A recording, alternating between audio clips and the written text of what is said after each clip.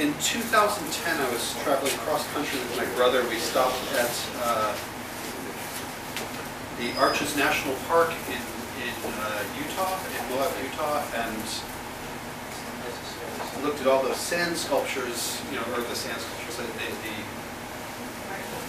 arches and stonework, yeah, there, um, that were just carved out by wind and nature. And uh, we went to one, one particular one called Delicate Arch, and uh, really, I sat there for a while and really started noticing the play of how the wind not only um,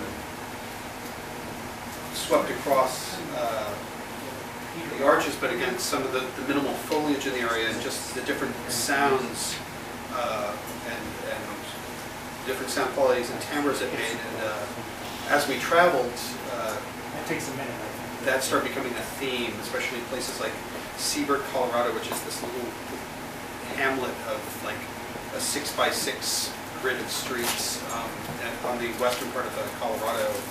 And I, I think all that's there is like some sort of uh, granary or something like that. And, uh, But the, the, the wind there was really interesting too, is this idea of desolate beauty started kind of coming in my head. And so a lot of my work with Delicate Arches is playing off that idea of both the wind literally or figuratively, and then the idea of ju- just desolation and, and beauty and emptiness.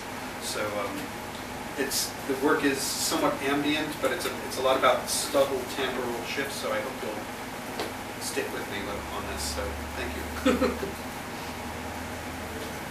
Just uh, show you up around here.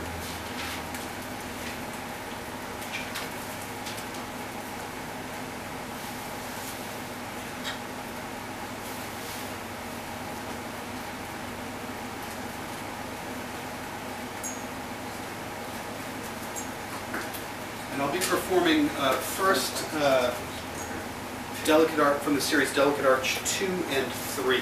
And then I'll be doing number 5 after that. But it's, it's basically three pieces, but in two chunks. I'll be having to take a, a moment between the two sections to do a little bit of fiddling here. So.